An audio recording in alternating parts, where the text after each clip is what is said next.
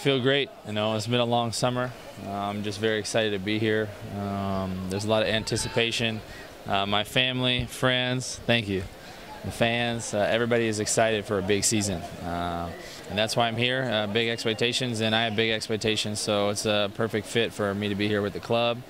I'm excited to meet my teammates, uh, see my coaches, and especially the fans. I'm very excited about the people here and uh, getting to know the city and just feeling comfortable.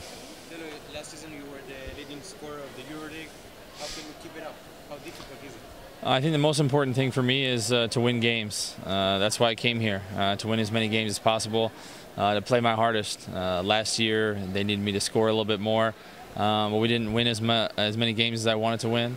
Uh, so I'm here to win games. Whatever I have to do to win games um, is the biggest thing for me. So whether it's scoring, passing, cheering my teammates on, whatever I have to do, that's why I'm here. Did you speak with Gal? Did he uh, explain about Maccabi? Yeah, I spoke a lot with Gal um, and a lot with Tyrese Rice, um, who uh, helped me helped convince me to come here. I didn't need much convincing because this is an amazing place.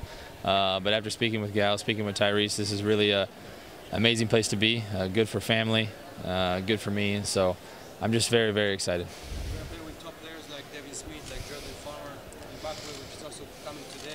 Do you know about your your new teammates? Uh, this is going to be a great team. Uh, I'm very excited about the team they put together. I think it's going to be very exciting for the fans. I think we're going to play fun style of basketball.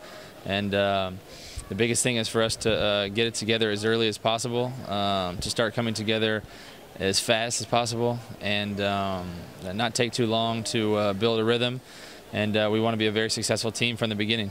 You know that Maccabi uh, didn't win the championship uh, last season, and for Maccabi Tel Aviv as a big team, uh, it's a lot of pressure this season. Yeah, well, I think there's a lot of new faces. Uh, everyone's excited to see what kind of team it's going to be. Uh, I'm excited to see our potential, and um, we just have to work hard. I think that's what the fans uh, like the most and respect the most. And if we continue to work hard, then uh, we'll be successful. Thanks a lot.